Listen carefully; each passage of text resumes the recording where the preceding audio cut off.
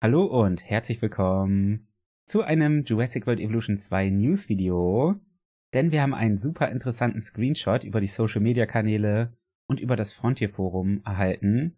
Und zwar genau diesen, den ihr schon im Hintergrund sehen könnt. Das ist nämlich normalerweise so eine Screenshot-Serie, wo halt Dinosaurier aus dem Spiel ab und zu gepostet werden, ganz nah rangezoomt an die Haut.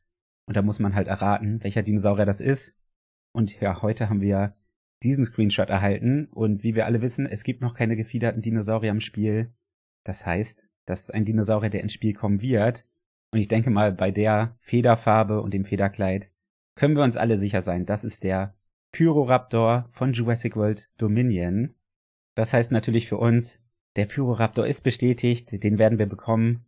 Vermutlich mit einem neuen DLC und auch noch weiteren Inhalten zum Jurassic World Dominion Film mega, mega cool. Also hätte ich nicht gedacht, dass jetzt äh, so ein Screenshot hier geteilt wird.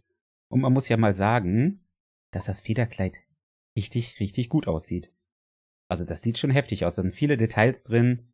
Und ich bin dann auch echt gespannt, wie dann das Gesamtbild in-game aussehen wird. Also gefiederte Dinosaurier könnte ich mir schon richtig cool vorstellen. Und dann bekommen wir auch noch ein Update. Nämlich werden die Chaos-Theorie-Karten in den Challenge-Modus eingefügt. Das heißt, man kann dann die fünf Level oder Karten aus dem Chaos-Theorie-Modus auch im Challenge-Modus spielen in vier verschiedenen Schwierigkeitsgraden, von leicht bis Jurassic. Ich glaube, das ist dann leicht, normal, schwer und Jurassic. Also alles wie gehabt. Welche fünf Karten das sind, das gucken wir uns gleich nochmal in-game an, würde ich sagen.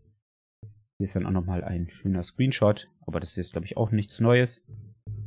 Und hier unten stand nochmal das Ganze mit Know Your Dino, also dass der Pyroraptor dann ins Spiel kommen wird.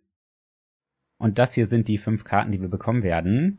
Nämlich eigentlich zu allen Jurassic Park und Jurassic World Filmen.